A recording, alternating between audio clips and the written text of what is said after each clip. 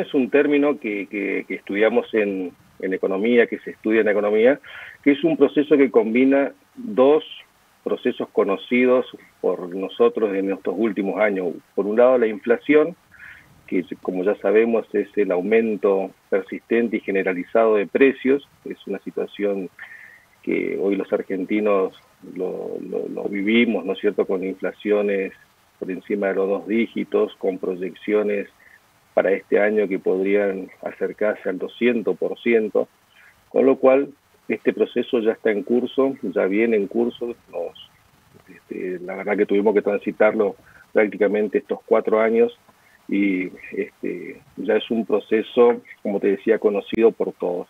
La recesión económica, que es el otro proceso que, que se combina y, conforma la estanflación, es el proceso por el cual el Producto Bruto no crece en el país. Es decir, vos tenés en la conformación de, para medir si una economía crece, eh, se estanca o decae, tenés que medir su volumen. Y cuando el producto no puede lograr crecimiento, eh, vos podés hablar de un estado eh, de estancamiento. Ahora, cuando este disminuye respecto del año anterior, estás hablando de una recesión. Y es un proceso que se lo vive, se lo vivió en Argentina eh, muy marcadamente en el año 2000 más o menos, después de la crisis, ¿no es cierto?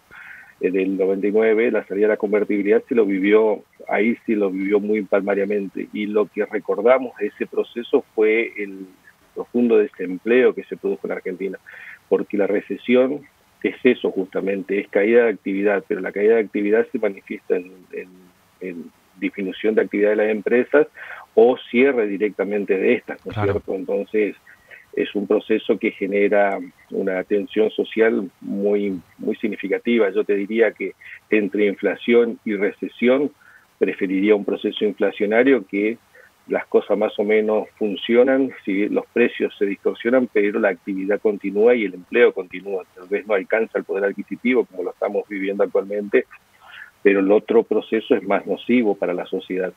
La estanflación combina ambas cosas y ahora vamos a ver si es factible llegar a ese proceso, como lo plantea el presidente Milei. Yo te diría que si vos hoy le sacás una foto a la situación argentina, podés claramente inferir de que vas a ir a un proceso de estanflación. ¿Por qué? Porque la inflación no, la inflación no, no va a desacelerarse el día 11 de diciembre porque el presidente tome una medida. El proceso de desinflación o disminución de inflación es un proceso que lleva un tiempo a partir de tomar varias medidas en simultáneo que apunten hacia lo mismo. Y eso, para que produzca sus efectos, eh, no, no, no, va a pasar menos de seis meses a un año, ¿no es cierto? Ahora, bien, si vos mirás por el lado de la actividad económica, si eh, con la foto de hoy podemos entrar en un proceso recesivo, te diría que sí. Y máxime teniendo en cuenta las definiciones que va tomando el presidente electo, es decir, él plantea con, clara, con mucha claridad de que va a ir a un ajuste fiscal fuerte. Y si vos, el Estado se retira de alguna manera eh, con menos inversión, ya sea en obra pública, en subsidios, en, en salarios, en, distinto, en los distintos ítems que él por lo menos va deslizando que podría llegar a tocar, ese dinero que no ingresa a la economía real este, por parte del Estado produce un efecto, eh, te diría, de disminución de, de, actividad económica, porque básicamente se retira un actor importante o se retira en parte un actor importante de la economía, que es el Estado, que es el gasto estatal. Entonces, bajo esas medidas, y te diría que son medidas que tienen, cobran sentido, o por lo menos el presidente electo las tiene que manifestar, porque él, eh, su primera incursión como presidente electo fue ir a Estados Unidos a ver de qué manera reperfila o eh, replantea el programa con el Fondo Monetario. Y en ese contexto tuvo que plantear un poco lo que quiere escuchar el Fondo Monetario, es decir, que, que va a hacer las correcciones necesarias en materia fiscal de manera de que quede en excedente y que pueda pagar la deuda. Un poco esto lo que fue a, plantearle. Y en, eh, en este contexto no, no podría ir con otro discurso, ¿no es cierto? Más que voy a reducir el gasto, ¿no es cierto? Entonces, también esto apunta que a retomar la confianza y la confiabilidad que se perdió con, con agentes externos que le prestaban fondos a la Argentina. Entonces fue también a plantearle un poco el mismo, el mismo discurso. Vamos a hacer las correcciones en Argentina, vamos a reducir el gasto, vamos a poner las cuentas en equilibrio y lo vamos a hacer rápido. Es lo que quieren escuchar los inversores para que por lo menos nos, eh, presten atención nuevamente y podamos salir de este estado de, de falta de credibilidad que tiene Argentina y que en función a eso no puede conseguir financiamiento para eh, o solventar el déficit fiscal o para emprender un proceso de recuperación de la actividad económica. Bien, eh, en esta búsqueda que tiene el presidente de bajar la inflación y por eso tomaría todas estas medidas, el tema es que en ese proceso quienes van cayendo, ¿no? Quizás, como te decía, la baja en la actividad económica, desocupación, baja en el consumo, que la gente se tenga que ajustar y que dejemos, como dijimos, ¿no? de, consumir. O sea, en ese proceso, ¿qué puede llegar a pasar en la gente, en el, trabajador? ¿Qué, ¿Cómo podemos llegar a, a, pasarla durante todo ese proceso? Claro.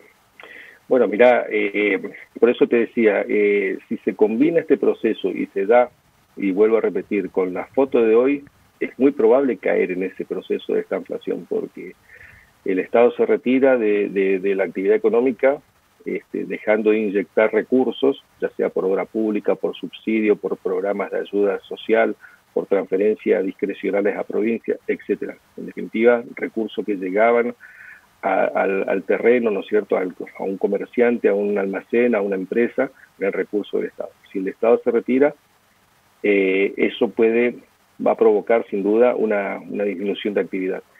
Y esta disminución de actividad combinada con eh, la inflación alta, que significa pérdida de poder adquisitivo, lo, hemos charlado en reiteradas ocasiones, la inflación para la gente es pérdida de capacidad de compra, porque los precios se encarecen, los salarios no acompañan en la misma medida, entonces se pierde capacidad de compra. Si tenés pérdida de poder adquisitivo por inflación y pérdida de actividad económica que puede ajustar por, por trabajo. Es decir, las empresas cuando se vean que disminuyen su nivel de operaciones, este, lo primero que, a lo primero que recurren es a la, a la reducción de personal. Entonces puede tener gente desempleada, puede subir el índice de desempleo. Y si en ese sentido, este, por eso creo que el presidente plantea de que la única billetera disponible va a ser la del Ministerio de Capital Humano, que es la que va a atender a lo que él denominó los caídos, ¿no es cierto? Y los caídos son justamente, pueden ser estas personas que pierdan su empleo, que pierdan un programa, una ayuda, una ayuda del Estado, o aquellos este, que, no puedan eh, reinsertarse en el mercado, en el mercado laboral. Ahora bien, eh, también quiero llevar algún tipo de expectativas porque positivas, porque esta, yo creo que el presidente electo planteó con toda crudeza los escenarios posibles, de manera también de hacer un llamado de atención a la sociedad y decir, si seguimos en este camino y no convalidan algunas determinaciones, este puede ser el destino. Ahora, mirándolo positivamente, si logramos eh, la, economía argentina o argentina a partir de este sinceramiento, si se quiere, de la, de la realidad, que logra despertar expectativas y confianza nuevamente en el mercado externo, pero también en el mercado local, porque también hay gente o actores económicos que hoy están expectantes y que no, no mueven la ficha, digamos, porque todavía no tienen claro qué va a suceder.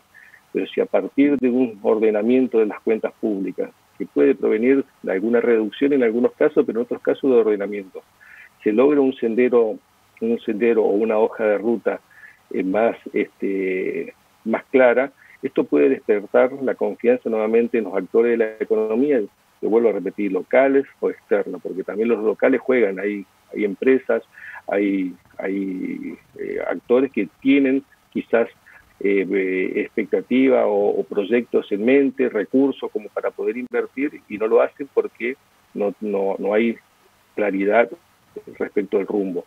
Pero si esta claridad se logra, puede que haya un proceso de, este, de inversión local, inversión externa, que haga que este proceso recesivo no, no se configure. Es decir, lo que se retira el Estado como inversor o como actor puede ser sustituido por inversores locales o externos a partir de expectativas favorables.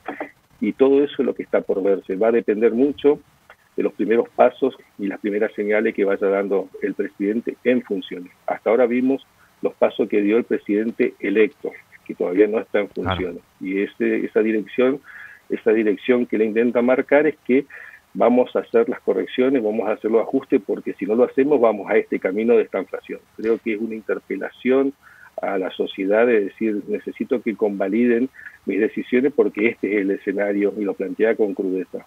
Pero yo creo que hay muchas posibilidades de que no se llegue a eso, porque Argentina ya está en un piso. Argentina necesita un shock de confianza, necesita establecer una perspectivas claras, una hoja de ruta, y eso puede despertar nuevamente lo, que, lo que necesita el actor económico, confianza para poder mirar hacia adelante con sus planes. Bien, Cristian, usted también es, aparte de conocer la, economía y de estudiarlo, usted también es, un actor político y sabe de política.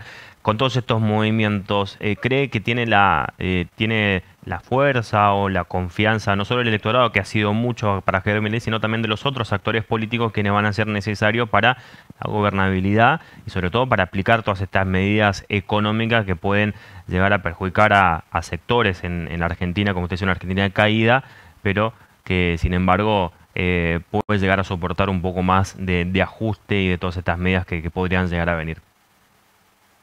Mira, lo que estamos viendo políticamente es que el presidente se puso más se puso más pragmático, es decir, desde las ideas este, extremas o radicalizadas que, venía planteando, ya eh, en el camino la, diría que la, las gotas de realidad que va asumiendo cada vez que se acerca a la asunción y al sillón de mando, lo va, lo va haciendo cambiar. Eh, vemos la dificultad que está teniendo en la conformación de su gabinete. Y esto no es producto de, la casualidad, es decir, él necesita gobernabilidad, necesita que ese paquete de medidas que él va, va, a enviar seguramente, eso, eso es, es un clásico de todos los gobiernos entrantes, enviando un conjunto de leyes, leyes ómnibus que se denominan, ¿no es cierto?, que son un conjunto de leyes que consideran necesaria como herramienta para su gestión. Y vemos que ya empieza a descartar algunos actores que eran número puesto en su, en su equipo para empezar a buscar consensos y este, apoyos de otras fuerzas. Y ahí es donde vienen las dificultades para el armado de su gabinete. Eh, Mira, eh, si bien no tiene hoy un escenario favorable para este, que el Congreso fluya en sus su, proyectos, creo que lo va a ir construyendo, lo va a ir construyendo, lo va a ir construyendo con los gobernadores, lo va a ir construyendo con, los otros espacios, los gobernadores ya dieron muestra de las necesidades que, pueden tener, algunos manifestando que no pueden pagar el, el aguinaldo. Pues bien, ¿cómo termina eso? Seguramente termina en una negociación de leyes por eh, apoyo de, diputados por este, recursos. Esto es así, ¿no es cierto? O por partidas en el presupuesto que favorezcan a cada jurisdicción. Esto se va a ir dando. Hoy el escenario que objetivamente no es de, no le favorece para la gobernanza porque tiene debilidad en ambas cámaras, pero eh, sí las condiciones futuras y las negociaciones creo que puede ir logrando esa, esa gobernanza